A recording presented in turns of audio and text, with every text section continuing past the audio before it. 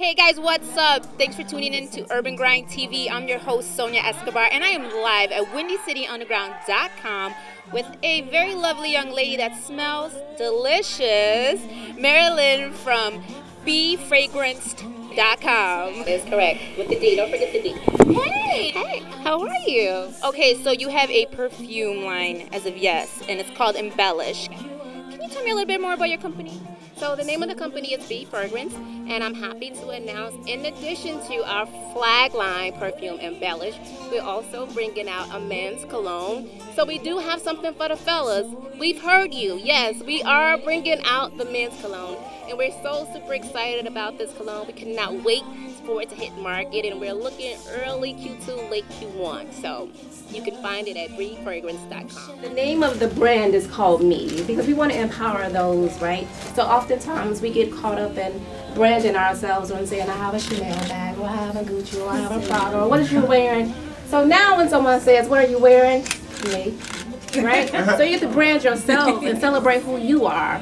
And under our first line is our new fragrance, Embellish, that we're going to present to Miss Eastwood. Yes, thank you. Now, while you're opening that, where can we find that if we want to cop that? Because Valentine's Day is around the corner. Yes, it is. Glad you asked. Right, right. BeFragrance.com. That's B as in boy, fragrance with a D dot com. BeFragrance.com. So we're gonna be going into the mainstream retail stores and we'll be announcing that. So follow us at B Fragrance on Twitter and Instagram and you're the first. Hey, nice. Fruity.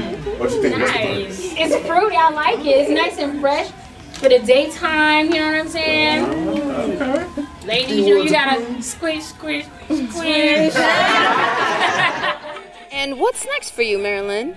So, in addition to Be Fragrance and our fragrances, our lotions, shower gels, men's cologne, so part of the five year plan is to not only just, you know, saturate the market with fragrances or lotions or shower gels, but also complement it with an accessory, a handbag. The name of the brand is called Me, right? M E.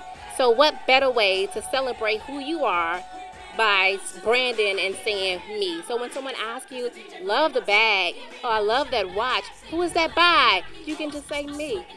Because that's the brand, me, correct. I love that. And you said they can find you at bfragrance.com.